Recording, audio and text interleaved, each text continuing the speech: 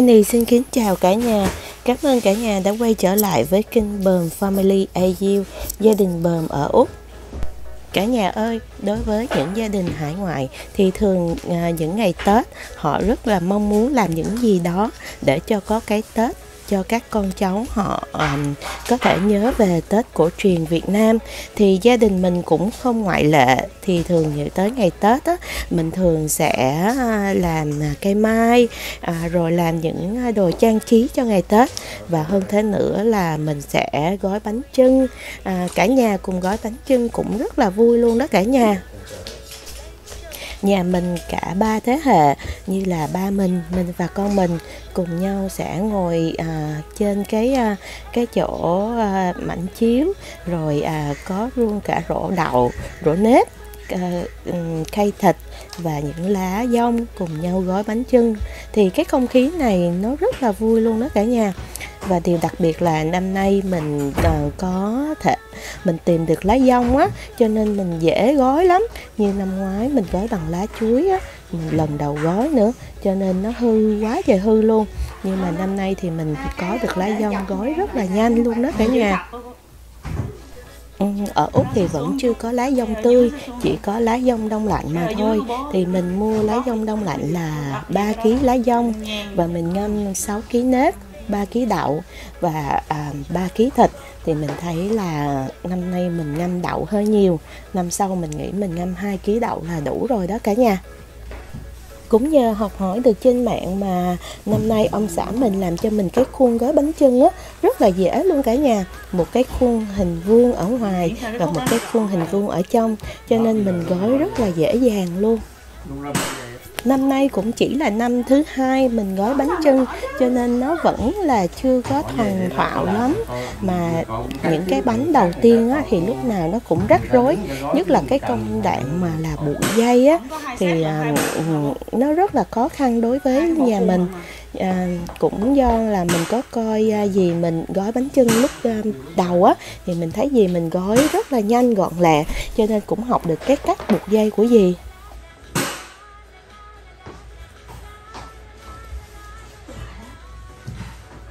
cũng được hả?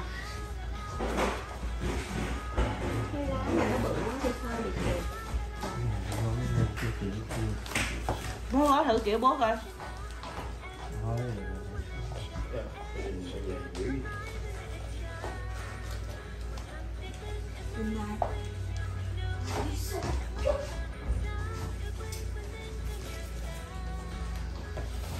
Rồi nó ăn trước để để để coi giờ bị gói cái đó trước đi. đề cái này cái này vô luôn Này vô Rồi, đè vô. Sủ lấy hai tay bố đề này vô tôi muốn móc cái này lên. Đây, hai tay đây. Mày móc này lên. Rồi. Ờ của bố đẹp quá của bố có cái sống ở đó. Móc, móc này lên. Bố có cái sống lá. Bỏ vô cái khuôn Rồi mình lấy này lại. Rồi, bố cần bỏ vô khuôn đi. Bố muốn lót dây chứ. Có bỏ dây cũng được, không dây cũng được Tùy, đừng lại cũng được con bố là, là, Dạ. r- rộng rãi rồi đó. Như là bố phải cột Mình vẫn mình tập thi chàng á Mình lật qua lật lại, lật qua lật lại. hơi ngắn. Thì nếu mình mình mình đo một cái xong rồi mình cắt. Thôi cái này là cái cột Cột chín dưới thôi. Cột hả? chính cho cái rồi còn người cái người phụ trách cột là là ai? con. Đó rồi má đề là được phải không? Còn nếu má bỏ chồng bỏ vô bố thì má cứ, cứ nâng cái này lên cái má bỏ xuống dưới rồi má rút cái khuôn ra đây. Nhưng cắt sợi dây trước rồi. Rồi để giữa đi. Giữa đi. Rồi. Cắt sợi dây. Rồi má đè xuống má lấy cái lấy khung ra. Nhưng mà bà chị phải đè cho nó chặt đã lấy cái tay đè hai đè hai bên này. Đó. Đè ở giữa cho nó nó, nó ra. mấy cái ôi cái góc đã. Cái khung sẽ lòn với cái tay của em luôn á. Đó. Rồi lấy tay đè lại cái khung ra. Đó đứng gì gian hay làm gì đó. Đúng rồi đó. nhưng mà cái cột dây là theo bả là rồi quéo quéo lại chị. Rồi quất một vòng vậy luôn nhưng mà trúng dây không chị phải đọc chặt chút. Chặt chút đúng rồi đó. Đấy. đâu đâu cái đầu kia đâu. Hai cái đầu hai đó. Đó, thấy không? Rồi tới đây hình như là bà lặn cái tới, tới đây bà lặn cái đó em lực lại liền. Đó à, đúng đó. đó. Rồi bên kia bà lặn ngay cho mình cái Ừ. bây giờ hết dây rồi cột đấy chứ đi. Chứ chơi gì cũng xong cái rồi. Cột liên hết rồi tới rồi. Liệt chị cột không được rồi sao? Đó rồi được rồi cột đi. Cắt cho ba cột rồi à, cái cuối cùng là bà móc mấy cái này nó sát vô nè. Không cái dây bả nó mỏng nên bả dễ quéo quéo vô vậy được. Không cái cuối cùng là bà lòn cái này vô bà kéo một cái bà lòn này kéo tới để đó thì nó cũng cứng rồi đó. Trộn sao lỏng leo đấy cột gì hơi nó chưa, nở ra chưa thì nó chặt hơi hơi không chặt cũng mà chi chặt. Cái góc chưa chặt thì ở lúc mà chị ấy thì chị phải nhấn cho nó vô cái góc. Lạc luộc Cuối cùng thì mình cũng đã gói xong cái bánh trưng đầu tiên. Ờ, Mình thấy nó cũng ok đó cả nhà. Chỉ có là mình không có mạnh tay để siết cái à, dây buộc cho nó chặt.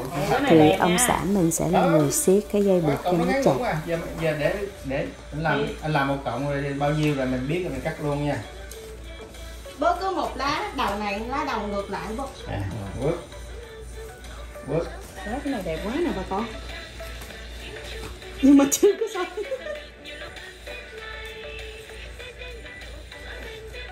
quất quất quất năm nay kiếm được lá dòng cho nên dưỡng ai vậy? Ai kiếm vậy? Ai vậy? Đi chứ ai Dạ. Rồi cắt đây. Là không phải mua chợ chợ Cao. ở Việt Nam thôi này còn nó đủ đấy Biết rồi. rồi cái cái cái nhập khẩu có bán thôi chợ cũng nhập khẩu. Gấp đôi này đúng không? Không mất công nó không Làm một đường thôi á. là bốn lần luôn hả? À đúng rồi nó nhập là nó bán chứ trời trời rồi con cũng có dông vậy. Nữa là nói chuối Chuối không chuối xung quanh nhà nè chuối đi mua lá chuối à chuối không? Này mua lá dòng đông lạnh nè mười hai đồng ký đó. Dạ. là nó mua trên mạng nó rẻ đó chứ chợ mà có bán là mắc à. Mua từ lúc đó tới giờ. Nhỏ con mua con nhỏ nó hỏi ủa sao chị đó sớm vậy nó không? Đi mua sẵn rồi lật luôn. Lật luôn. Rồi tới một phút nào đó mình ở không để giữa chứ? Cho chia đều hai con dây giữa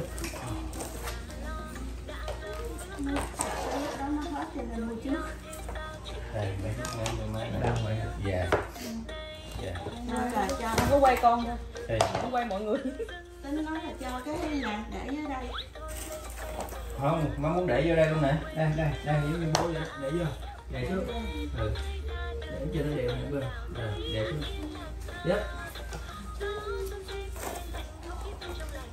lẹ luôn mình làm vậy là để cái người sao họ có ở ở ngoài họ rảnh họ gói. Mình gói thì mình cột luôn nữa. Đó rút được không? Cái cuối cùng không? Đủ không? Ủa cái đó bự hơn hả? Đâu trên đo cái nhỏ nè. Vậy là cái này nhỏ cái này ít bánh hơn cái đó dày hơn. Nè. cái này của bà đang đẹp mà. Vậy là giờ phải cắt dài hơn chút hả? Không vừa mà vừa y thôi chứ không có được Vừa cũng không thắt được. nữa. Phải thêm ráng rút lên chút đi. Rút lên đâu? Kéo mạnh lên. Đó ráng chút cái đó đi rồi mấy cọng này dài hơn chút. Đây, cho dài hơn chút. Vậy nhớ bỏ thịt nè ca để xô. Bỏ quên bỏ thịt lên mình yêu cầu một cái nếp với mỡ. Không được mình cố gắng lắm rồi nó không có cột được. Ráng đi. Rồi rồi còn cái khác. Ủa đáng đi làm sao? Bây giờ nó có nhiều đây. Đây, đây, còn cái này đi đưa đây rút cho. Còn này ra sao đi cái này nó đang đẹp tôi đang o bế nó. Tiết kiệm dây cái gớm. Cái này bạn sai đó nè. Ủa này tháo ra rồi hả? Em đã cột đâu em chỉ có quéo quẹo vô thôi mà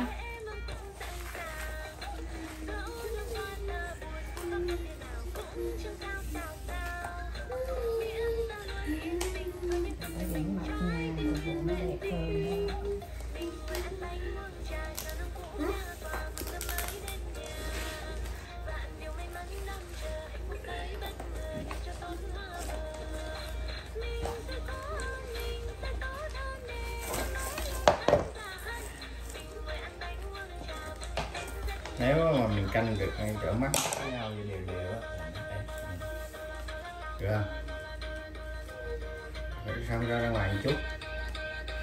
Chút nữa nhớ cho nó ra ngoài này một chút nữa đâu mà sát như vậy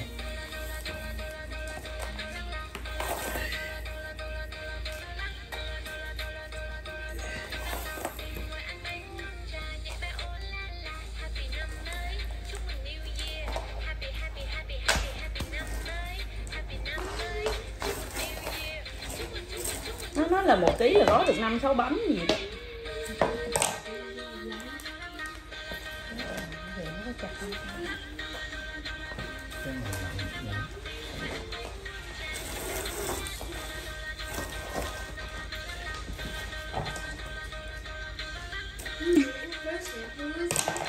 Đi mấy cái rồi đi hai cái. Ba hai rồi ha. cái đầu tiên cái đó. Bố bố đưa đây cho con bố cái mâm rổ ra. Cái hai cái. Đi không dây ngắn đó dây ngắn đó dây đó dây gì Cái khúc bỏ đi.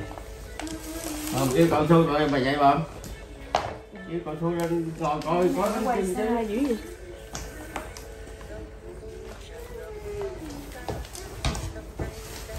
rồi phải không?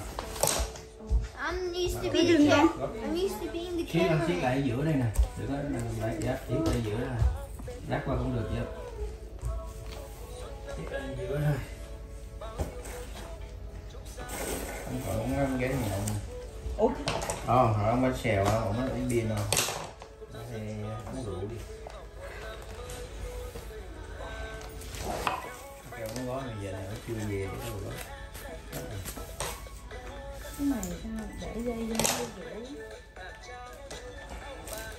sao?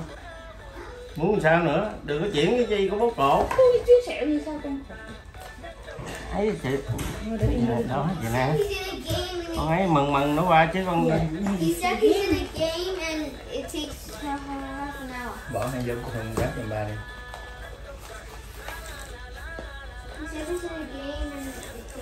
Nó nói gì vậy? Ok. Nó đi. Hôm nay chơi game.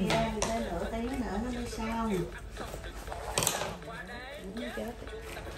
cái nhà người ta gói vậy rồi ra coi để không biết con em cái này nó là cũng là một cái món văn hóa Việt Nam thấy không con? bà có hiểu này là gì không con Ủa? Nhân nó đang rửa ra cho nó vô video luôn kìa Cái con còn mấy cái nữa? Nhiều lắm Nhiều không? Nhiều là nó nấu hai lần Nồi cái nồi đó của mình bự lắm rồi Năm ngoái mình nấu có một nửa nồi chưa được nữa. Năm ngoái đâu có đủ đâu nhớ phải nâng độ dưới lên phải lấy uh, mỗi một hai chứ hai mấy cái hả? Bảy tám cái. Mười cái chưa được mười cái Xe xe ra Chưa mười cái nói nó bị gắt rồi 10 cái thì năm ngoái nó chặt chỗ chứ 10 chứ bây giờ thành ra 15 chỗ cái. Á. Nhưng mà cái năm ngoái là như bự hơn. Bự đó thì bởi vậy chứ nó 10, là 10 cái giờ phải 15 á. cái khuôn này nhỏ hơn nhiều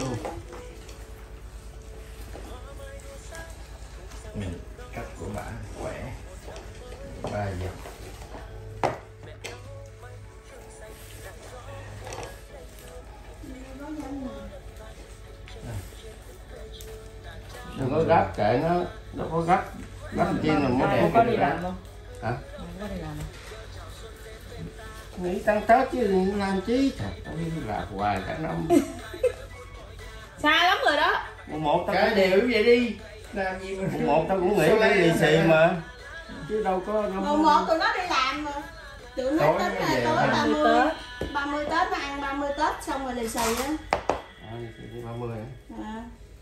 Mùng 1 Tết nó đi làm hai đứa. Nó không ăn sơ le mà tại vì Ra số đều ơi Nên nó nó 30 Tết nó ăn 30 Tết xong rồi nó đón giao Mấy cái cọng dây này nó kéo cọng dây điện trăm ký.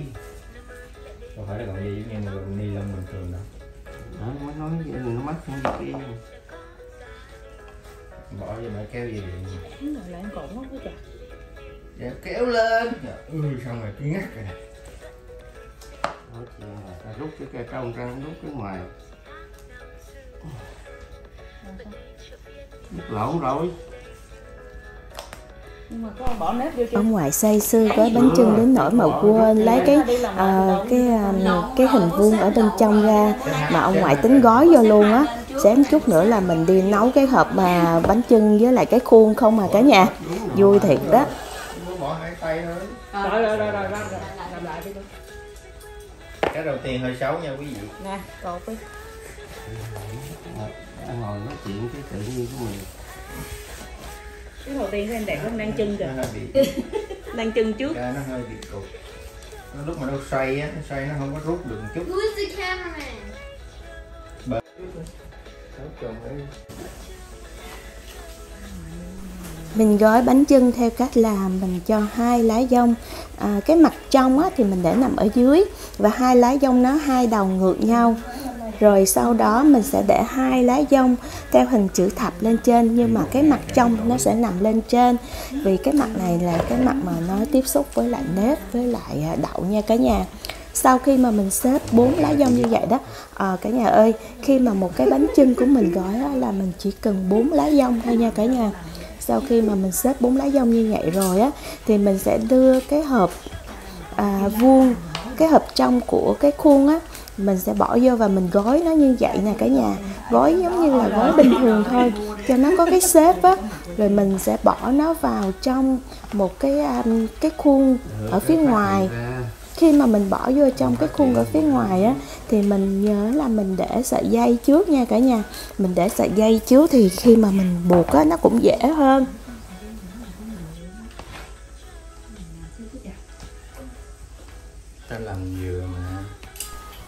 rồi sau đó đó mình sẽ mở nó ra và mình sẽ lấy cái khuôn trong ra.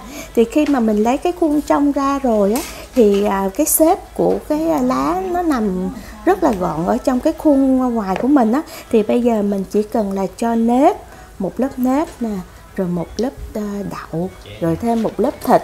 Sau đó rồi lại thêm một lớp đậu, một lớp nếp nữa. Thì sau khi mà mình cho nó vua hết đầy đủ như vậy rồi á, thì mình nhớ nén xuống cho nó thật là chặt nha cả nhà.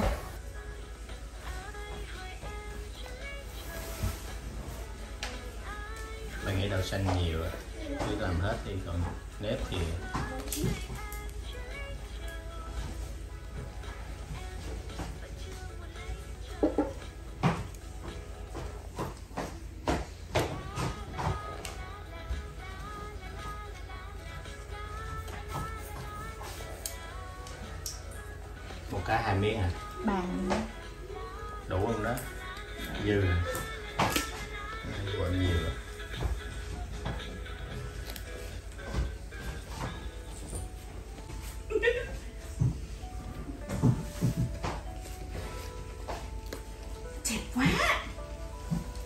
Hiểu không? Cái này chắc chưa? rồi cái cái cái kéo cột cái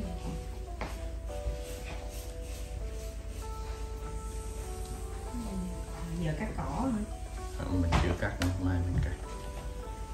mới cắt từ rồi mà nó nổi lên nữa rồi Mưa. Em cột cái này để tí nữa mình mình mình, mình sau khi mà mình nén cho thật chặt rồi á thì mình sẽ xếp hai cái à, hai bên hông à, trước.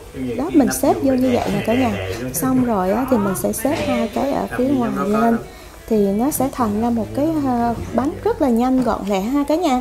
Mình thấy cái kiểu này nè rất là nhanh luôn á. Mình thấy rất là thích cách à, gói này luôn. Nhanh lắm cả nhà. Đó cả nhà thấy không? Mình làm nhanh dễ sợ ha mà còn phun thì bố lật nó lại Chưa? Để mình chốt khúc lại.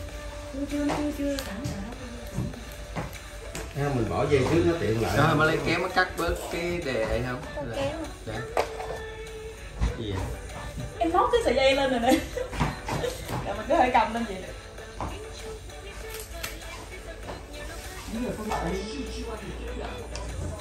giờ mày mày ấn xong rồi mày đánh dấu cái đó nha Có cần phải xịt sưng đỏ lên không? này của em nhiều nếp em ăn nhiều nếp. Ờ, ăn mình đi nha. ủa gì vậy? Mày mày nhớ Thôi, giờ cho nó cột là bốn sợi đi, bốn vòng á. mày nhớ cái đó của mày nha. Bố đậu bố rồi sao sao? Ship tần kỳ vậy? Ship tần á. Giờ xuồng mới lên á.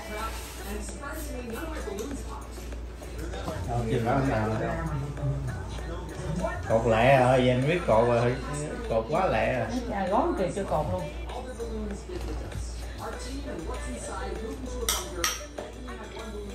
Ít như vậy đủ không?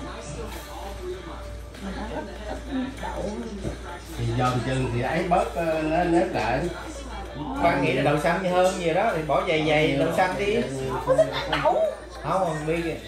Chứ giờ thấy thấy nếp cảm giác như là thấp hơn đậu xanh nhưng mà ít nếp quá làm không được luôn cuộc mỡ ăn thịt mỡ thịt mỡ nằm dưới á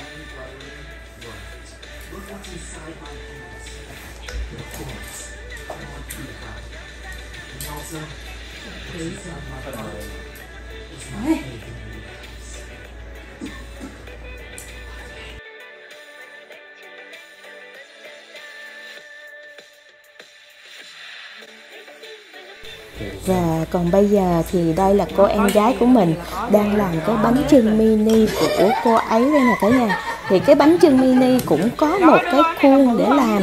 Lúc đầu thì Si làm không có cái khuôn rất là khó buộc. Cho, cho nên cuối cùng thì Si đã làm cái khuôn và làm y hệt như cái mà mình gói cái bánh trưng bình thường nha cả nhà. Chỉ là cái bánh trưng mini thôi. Nhìn cũng rất là công phu lắm.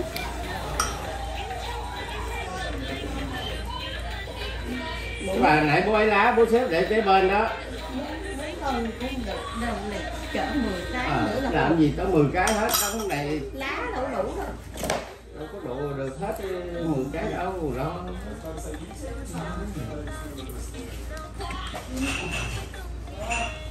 nếu vậy tôi rút mấy kia là tôi xếp ờ, thôi thôi đi. em còn ba cái của em nữa. nguy, hiểm quá đừng có phọt còn ba cái con cà phá lá của cà lá nãy giờ em có một lá rồi nha Vi cái bánh trưng mini này nó cũng là rất là khó về cái giai đoạn mà buộc. Tại vì ờ, hả nó nhỏ quá cho nên buộc cũng rất là cực khổ nha cả nhà. À, em của mình nó buộc thấy mà lâu ơi là lâu luôn á mới xong được cái bánh trưng của nó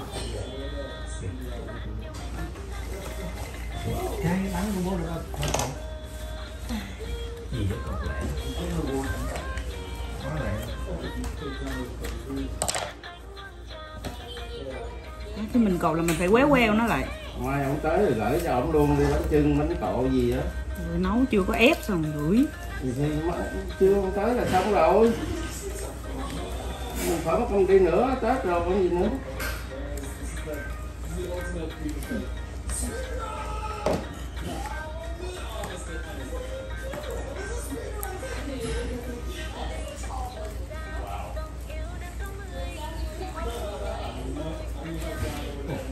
sao nè à, cái nước hẹn gì đó sợ gì sao mình đem mình đi giữ gì? Mình cũng trả cái qua tầng mọi người một cái nữa nếu mà ngon. Ừ. Nói gì mình cũng đưa vậy đó nếu mà ngon. Đó xong cái mình lấy lên. Cái cái mình che khúc này. Thì khúc cái tẹt ra Không từ cái để cho nó khó thì được rồi. cho nó bị tẹt ra rồi có đủ thì cho không đủ thôi chứ cho người này không cho kia cũng cứ là mấy chục cái rồi. Bố ơi, nó tẹt ra rồi. Ba bốn cái để nhà. Hết đất bỏ tủ lạnh không? Bỏ ngăn đá không? À, ủa sao ai cứ lấy cái đồ gấp thịt của con đi hoài vậy? À, tẹt ra quời nãy giờ làm bao nhiêu cái rồi? Bốn lá thôi à cái nào phải bốn lá thôi chứ bớt ba cái làm sao làm được?